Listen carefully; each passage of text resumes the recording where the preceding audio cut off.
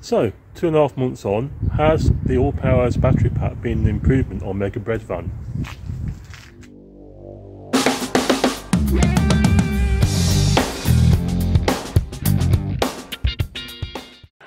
So first of all I need to to set up well the setup. Um, so basically this little box here is powering uh, quite a few things. Well, a few things. Um, it's powering a speaker, the interior light, um, a CarPuride, which is a sort of CarPlay sort of thing that links to my phone. Uh, it's powering my dash cam and I'm also as I said in the last video I've sorted out this little problem of um, trying to charge up the power pack from a 12 volt battery. Now, the last time I had, uh, if you remember, if you're looking at the other video two months ago, uh, I had a cigarette lighter socket with a DC um, jack socket plugged into the power pack, thinking rather foolishly, because I know nothing about electronics, um, rather foolishly that it was actually um, charging up the 12 volt battery from the power pack, which is totally ludicrous and that does not work. I've tried another few things uh, as well and it succeeded in blowing the fuse in, in one lead so it doesn't work that way um, and I'll explain why. But before I do that uh, I'm going to set everything up so uh, normally I'll put the, the dash cam at the bottom of the windscreen which is probably not a good idea unfortunately if I put it at the top here then it tends to um, wobble about when I do the, the playback. Uh, so I'll stick it down here, like that. Okay, and plug it in. And I'll tell you about the leads and everything later on. Just make sure that's nice and tight, otherwise it tends to swivel around. The the CarPuride um, tends to be a bit of a, a pain to to set up. Um, I've got used to it now because you've got these little notches on the back. Um, you can see that, and they notch into um, into this here. So it fits in there like like this with the notches, and I just insert it in and push down. Now I haven't got a clue if that's on camera, but uh, basically I've I've done a little little bit filming the actual notches on the back so you can see what I mean. Um, so yeah, that's that done. In fact, before doing that, I need to actually um, plug in the, the leads. So uh, here for the leads you've got a jack plug for the speaker and a power DC jack plug to power the CarPuride. So those need to be plugged in uh, on the side here. So you've got the jack plug is on the left, then you've got USB plug, and then you've got the um, speaker out, you've got a camera out, you've got a SD slot, and one for a microphone because if you're going to do voice commands in a mega multi truck, in Mega Breadvan, then you need a microphone plugged in because otherwise it won't hear um, the CarPuride won't hear on the inbuilt microphone. It's not that good. So we'll plug those in.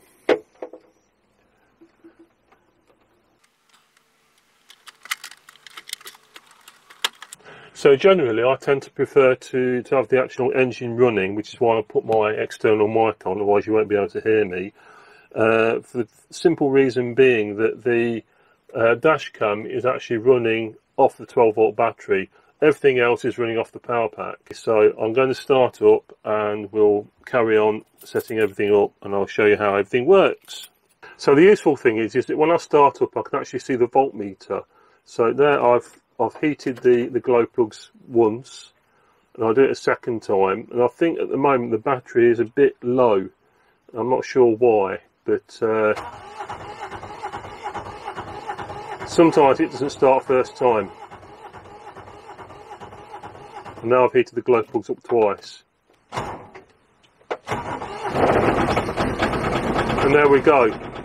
So this is something I have to sort out before the the MOT control technique. So when I first get in the van, the first thing I do is to to switch on the, the power pack. So to do that, it's a long press on the button on the front. There you go. And that gives us 99 hours. At the moment, it's 83%. Now, perhaps it's a bit feeble. With the engine running, I've rigged up, um, as I told you before, I had a cigarette lighter plug trying to charge up this power pack. And in fact, talking to a friend, he told me that I'd only get a 5 volt charge. So that's this here. So on this voltmeter, voltmeter stroke multi-plug for the cigarette lighters, cigarette lighters, cigarette lighter plugs. Um, I've got a USB plug with a switch, so I can switch it off. I can switch off the charge. So it doesn't really charge up a great deal, but it's better than nothing for the minute. And I'll talk about that later. Uh, why? But if I switch it on, you can see that the top here is only gone up to 3 watts. Usually it goes up to about 5. So I'm not quite sure why it's not gone to 5, but usually it will charge at 5 watts. Probably because I'm not moving. So that'll be the first thing I do. I'll switch on the battery and the next thing will be to switch on the CarPuride and the speaker. So I've, I've rigged up some buttons here on the USB hub to do just that. So if I press this button, that will switch on the speaker, and this button should switch on the CarPuride. Okay, so that's the second button along, and the CarPuride switches on. After that, then I've got the the multi-prise. I'm speaking French now. Multi-plug for the cigarette lighter, which will switch on the dash cam. There we go. So I have to wait a little while usually, and I can set up the the CarPuride. So that's basically what I do when I switch on. And of course, that has now gone down because it's powering the the dash cam, and it says it can power it for 14 hours. So that's that's pretty good. So we can see the CarPuride is now switched on and it's now logged on to my phone. So we've got the usual thing, we've got Google Maps, I've set up the radio, I've set up the telephone, everything. I will do a video another time uh, about the CarPuride because it'd be more interesting to concentrate on that in greater detail. But basically I've got my radio here, I'm not going to play anything on it because well, I'll just play a little bit because of copyright reasons, but basically I'll, I'll click on my my radio, my favourites, and I tend to listen to Radio 2, so Radio 2 is right at the, the bottom. I've got BBC Radio Leicester as well, and now I've got BBC Radio 2 just here. Uh, my speaker's not switched on, so if I switch my speaker on, there we go. I should get some sound out of it. There we go, we switched that off because I don't want to get done for copyright. And so that, that tends to work quite well. So all in all, it's quite a good setup, um, and that's that's why it's useful. Now, uh, taking things a bit further, um, I went to the UK recently, as you've probably seen in, in the various shorts and things I've put on my channel. Uh, I haven't actually done much in the way of video since I've come back, um, but uh, my friend Nigel um, is doing his uh, GoPod, which I did a video about as well. I know nothing about caravans, but I tried. And uh, he's putting a solar panel on his GoPod. Now, we were looking into solar panels, and it's entirely feasible that I could have a solar panel to A, top up the charge on this, and B, top up the charge on the 12 volt battery. Because with a control unit, I could have the two wires doing that, which I think would be a good idea. Uh, it's not something I can do at the moment, but we worked out that it would be something in the region of 100 euros to set it all up. So it, it's something I want to do in the future, but at the moment I'm going to just concentrate on um, the control technique and the MOT. So we'll switch everything off. So uh, what I usually do is I'll just take this so that I can show you. It's a lot easier using a second camera. Um, but first of all, I'll switch this off because the last thing I want to do is to leave that switched on because it, it probably won't flatten the 12 volt battery, but I don't want to take the risk. I've already flattened the battery leaving the headlights on. So, so can hear ourselves think, I'll switch the engine off. So, uh, we'll switch off the the dash cam. That should switch off, there we go. And so, for the CarPuride and the speakers, well, it's very easy really. I just uh, press my my buttons on here. So, boom, and that will switch off. And there you go. And obviously I'll switch off the, the power pack, long press on the button here on the AllPowers power pack, and it will switch that off as well. And there you go.